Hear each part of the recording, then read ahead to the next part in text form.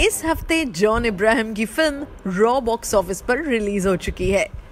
सत्यमेव जयते के बाद जॉन एक बार फिर देशभक्ति की भावना से लबरेज फ़िल्म लेकर सिनेमा घरों में आ चुके हैं। पहले दिन के मुकाबले दूसरे दिन फ़िल्म की कमाई में उछाल देखा गया। बॉक्स ऑफ़िस इंडिया की रिपोर्ट के मुताबिक दूसरे दिन फ़िल्म ने सात करोड़ का बिज़नेस किया है। जिसके बाद इस फ़िल्म की कुल कमाई अब 12.25 करोड़ हो चुकी है। वैसे इस फ़िल्म को क्रिटिक से बहुत अच्छे रिव्यू नहीं मिले हैं। फ़िल्म में जॉन के अभिनय को तो सबने सराहा, लेकिन कमज़ोर कहानी ने इसका मामला बिगाड़ दिया।